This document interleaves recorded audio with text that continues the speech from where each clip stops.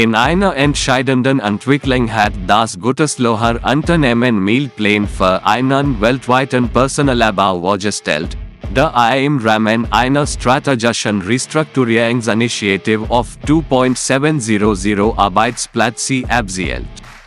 Diese Entscheidung spiegelt das Engagement von Miele wider, sein geschäftlicher Ketten die sich entwickelnd Marktland Stadt anzupassen. Der drohende Stellenabbau kann Auswirkungen auf verschiedene Bereiche des Unternehmens haben und Auswirkungen auf die gesamte Belegschaft weltweit haben.